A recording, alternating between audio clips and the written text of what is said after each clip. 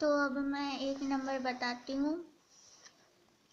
Circus का एक कलाकार एक 20 मीटर लंबी डोर पर चल रहा है, जो अच्छी तरह से तनी हुई है और भूमि पर सीधे लगे खंभे के शिखर से बंधा हुआ है। सर्कस का एक कलाकार 20 मीटर 20 मीटर लंबी डोरी पर चल रहा है और जो यदि भूमि के स्तर के साथ डोर पर बनाया गया कोण 30 डिग्री का होता है। यानी जो यहाँ पे कोण बन रहा है वो 30 डिग्री का है। डोरी पर वो चल रहा है और भूमि के साथ डोरी का जो झुकाव है वो 30 डिग्री का है। ये 90 डिग्री है। तो खंबे की ऊंचाई ज्ञात कीजिए। यानी ए भी हमें ज्ञात करना है। तो पहले हम लोग फिगर बना लेंगे।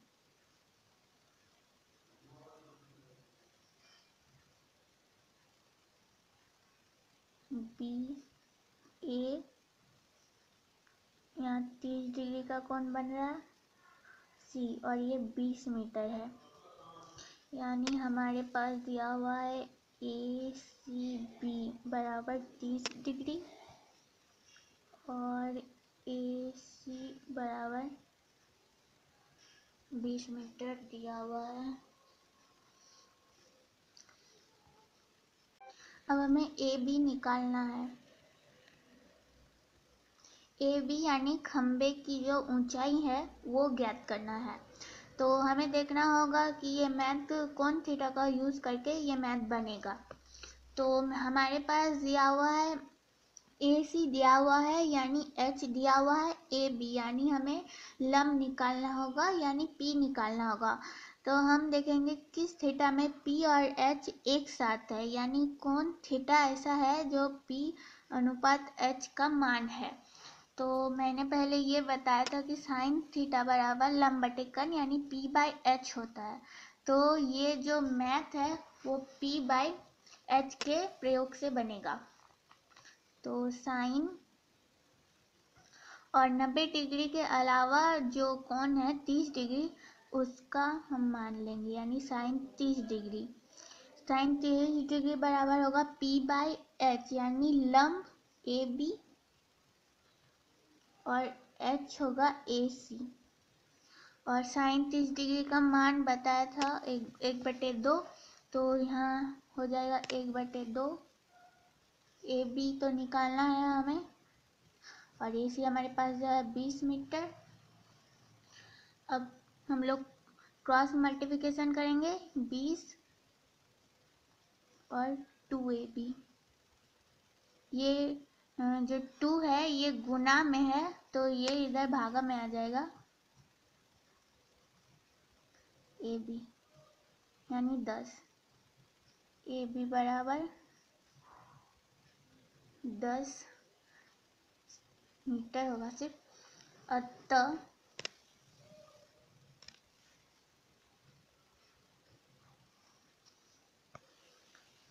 खम्बे की ऊंचाई बराबर दस मीटर हो गया।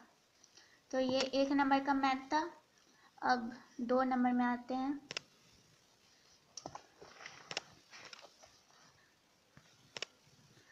आंधी आने से एक पेड़ टूट जाता है और टूटा हुआ भाग इस तरह मुड़ जाता है कि पेड़ का शिखर ज़मीन को छूने लगता है।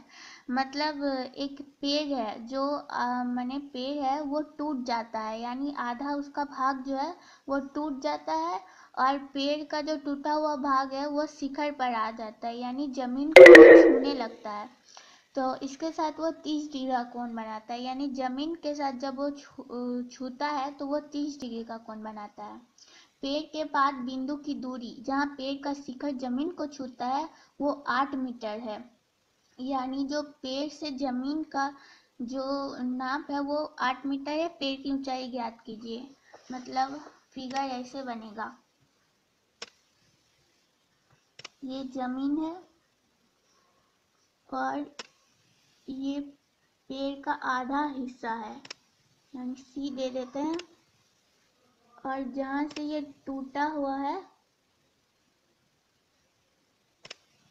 यहाँ से ये टूटा हुआ वाला भाग है। मतलब पेड़ यहाँ से टूटा है आधी में। तो जब ये जो पॉइंट है, जब ये गिर जाता है बी तब ये भाग ऐसे ज़मीन को छूने लगता है। तो ये भी बी होगा। तो जब ये ज़मीन को छूता है तो यहाँ तीस डिग्री का कोण बनता है और ये नब्बे डिग्री का कोण बनेगा। तो हमें ए सी निकालना है। ए सी यानी मैंने ए बी निकालना है, यानी पूरे जो पेड़ की ऊंचाई है, वो ज्ञात करना है। तो पहले हम लोग ए सी निकालेंगे इसके लिए। क्या क्या यार, यहाँ दिया हुआ है आठ मीटर तो लिख लेंगे क्या क्या हमारे पास दिया हुआ है।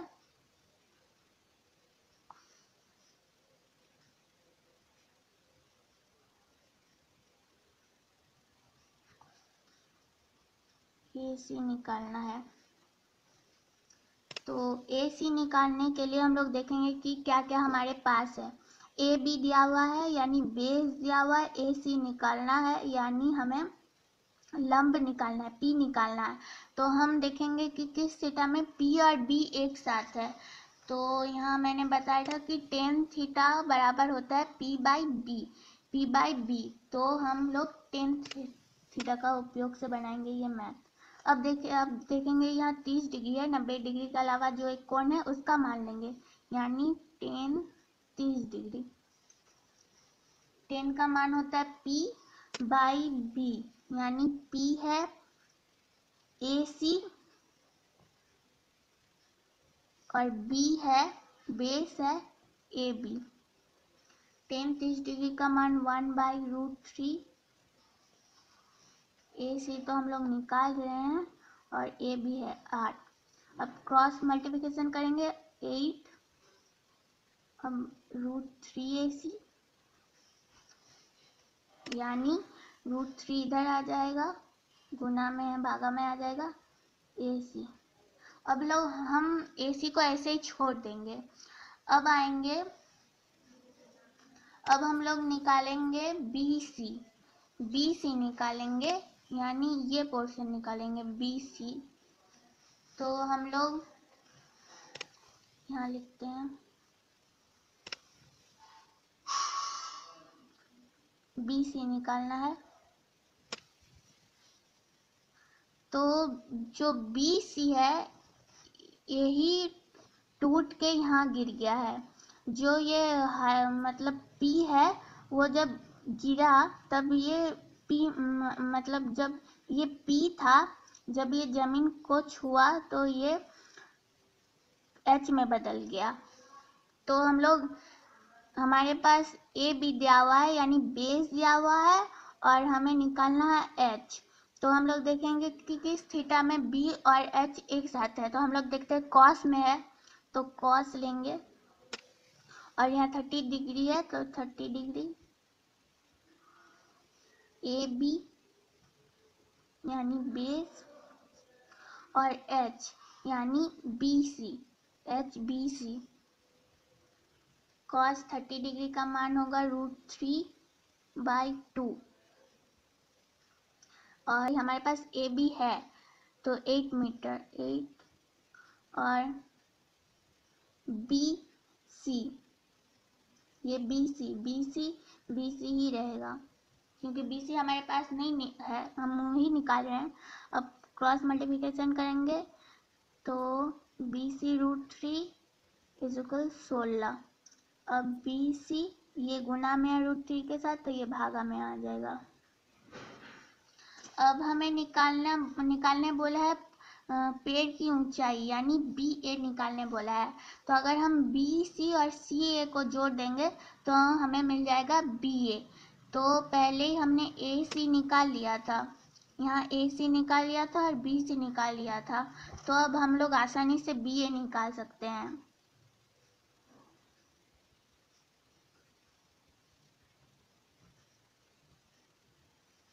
ऊंचाई, अतः पेड़ की ऊंचाई यानी बी ए बराबर ए सी जोड़ बी सी ए सी निकला था एट रूट थ्री जोड़ सोलह रूट थ्री हम लोग लॉस ले लेंगे रूट थ्री एट प्लस सोलह चौबीस रूट थ्री अब हम लोग इसका परिमयकरण करेंगे। परिमयकरण यानी जो नीचे रूट थ्री है, उसको ऊपर से भी गुना करेंगे, नीचे से भी गुना करेंगे। यानी अंश और हर से रूट थ्री को दोनों से गुना करेंगे। Root three root three. चौबीस रूट थ्री हो गया और यहाँ थ्री। तीन अट्ठे चौबीस। यानी एट रूट थ्री मीटर यानी ए बी का जो ऊंचाई है, वो है एट रूट थ्री मीटर